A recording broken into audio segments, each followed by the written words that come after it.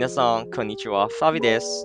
So I'm currently on the process of you know trying new things um, here in my channel, and for the first time, I'm doing a voice over video, and also for the first time, I'm taking you with me thrift shopping here in Iloilo City. So our first stop is here at his and her, and to be honest, I wasn't able to find anything that really you know caught my attention in the shop that day, but the case was different in this second shop that we went. So it's at Joe Mills. It's also inside the mall. And as what you can see here, I found this gorgeous piece. Uh, it's a pair of Evisu pants. Look at the details though. Immaculate.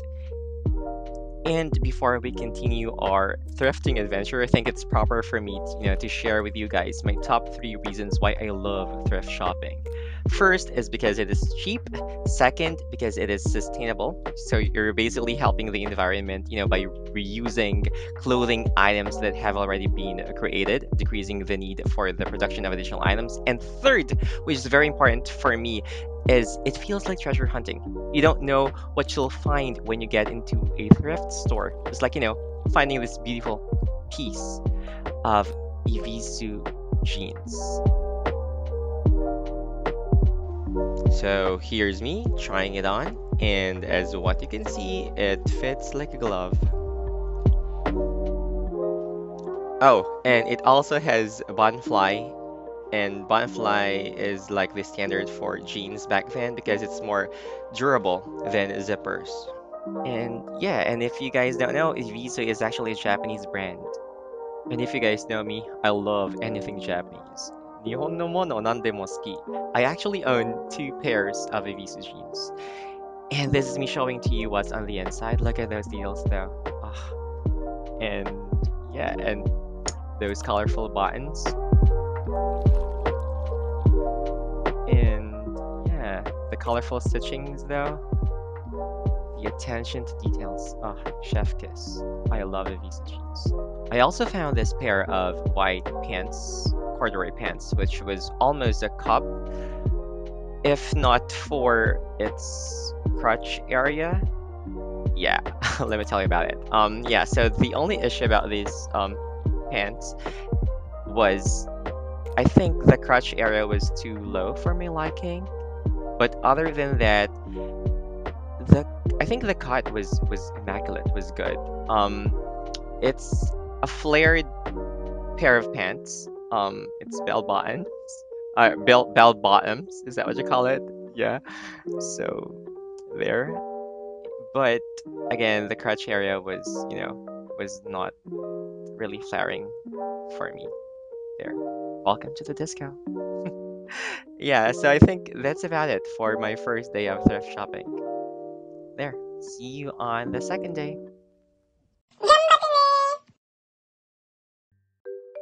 Okay, so we're starting our second day of thrift shopping with high hopes here at Fashion Street. So I went here in the morning to avoid more competition, so to speak. So may the thrifting gods be in our favor today. Okay, so my first find for that day was this vintage blue Polo Ralph Lauren shirt. I said that it's vintage because of this single stitching if you guys don't know about single stitching, please Google it. They don't do this stuff anymore. So yeah, single stitching. There, the only issue about this shirt is I think it has wide, um, what call that, neckline. So the neckline is quite wide for me liking. That's why it's a pass for me. The second shirt that caught my attention is this um, Uniqlo shirt or Uniqlo shirt. It's a Billie Eilish and Takashi Murakami collab but I did not cop this because I think it's quite basic. It's it's yeah, it, it's too basic. So there, and it's big. It's XL. so there. Okay. And speaking of basic, this next find also fits the bill for being basic. Um, this is a champion shirt with a champion logo embroidery at the side. It has a little stain there, but I think it can be removed easily. Um, and it's a pass because it's small. I need at least medium or large. So, there.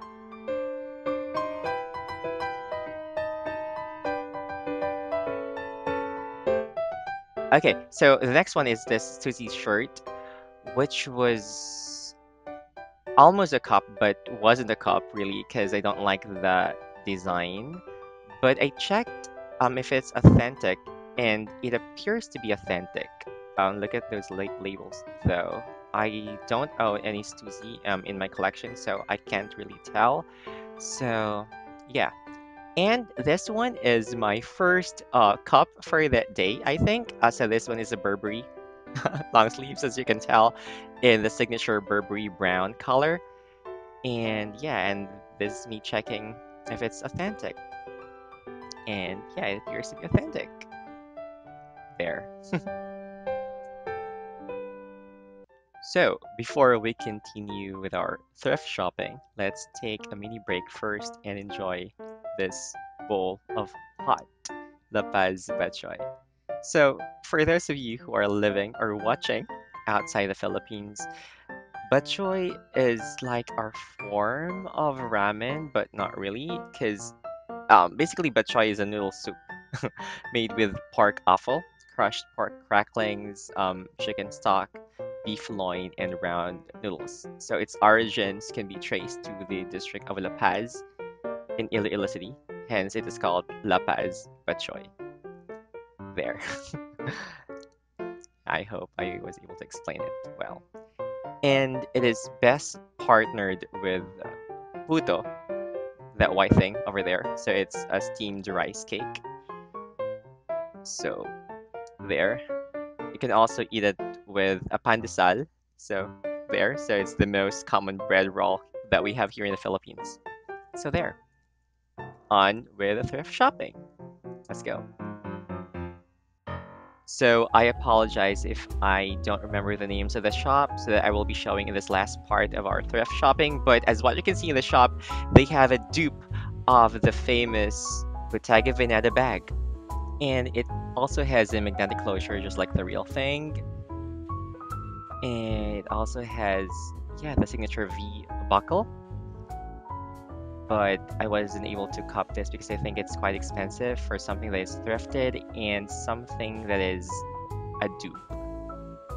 So it was a pass.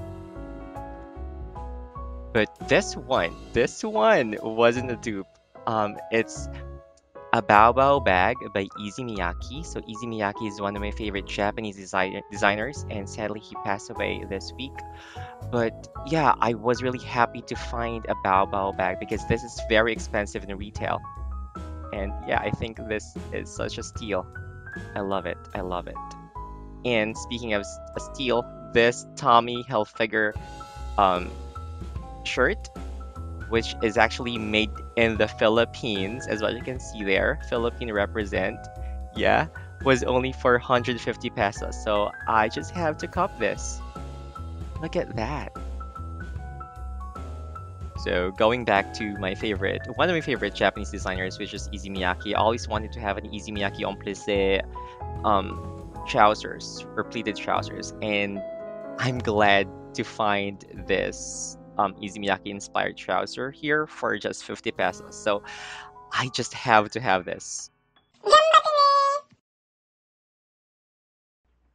So, these are the items that we thrifted for the past two days, and I also added to the mix two more pieces, which I thrifted recently that sadly I wasn't able to vlog or to film. But yeah, here they are in their full glory.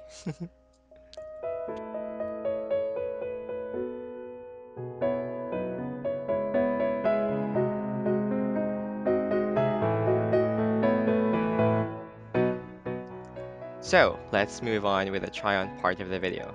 We're gonna start with this Issey Miyake en pleated pants inspired trousers that I got for just 50 pesos. So since it's quite baggy, I'm aiming for a baggy kind of silhouette as well. So I partnered it with this slightly oversized Fear of God Essentials tee. And yeah, and I also put into the mix this Essentials tote bag for a more baggy look, pun intended. And I also put on this quite structured um, hoodie, black hoodie, for that color blocking. yeah, so as what you can see here, I'm just using black and white all throughout for a very minimalist um, style. And yeah, and I just wore my black and white dunks to complete the look. So for our second look, we're gonna use this Bao bag by Issey Miyake. And yeah, here's me flexing this authentic. and then we're gonna use this lovely pair of Evisu jeans. Look at the details again. Uh, lovely details with the colorful stitching. And yeah, there. And for the top, I'm gonna use this undercover shirt by Jun Takahashi, which I actually thrifted before and sadly I wasn't able to vlog, but it's valued at $240 right now at Grailed. So there, let's style this. Okay, so since I'm wearing an all Japanese brand, I'm aiming for a Japanese Americana um, vibe for this look. And for my accessory, I'm bringing this Bao Bao bag by Issey Miyake. So we have Issey Miyake for the bag, Jun Takahashi for the top, and Evisu for the bottoms.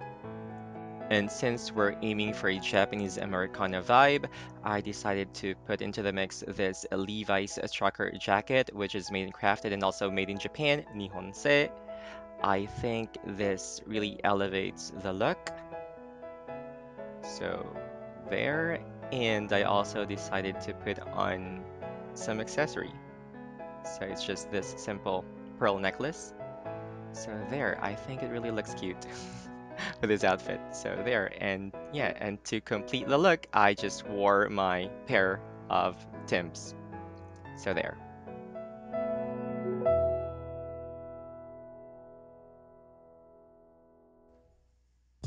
Okay, so on with our next look. So I'm gonna use this blue collared shirt from Tommy Hilfiger and since it's blue, I'm going to partner it with my Jordan 1 Hyper Royal because it just matches the color.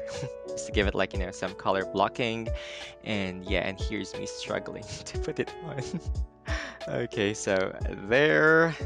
And I'm going also to put into the mix this um, cute Telfar bag, which I recently purchased. And I think, yeah, it also goes well with the outfit because the shoes also has some white details on it. So yeah, so it's a very casual, you know, day out um look. So there, just chilling.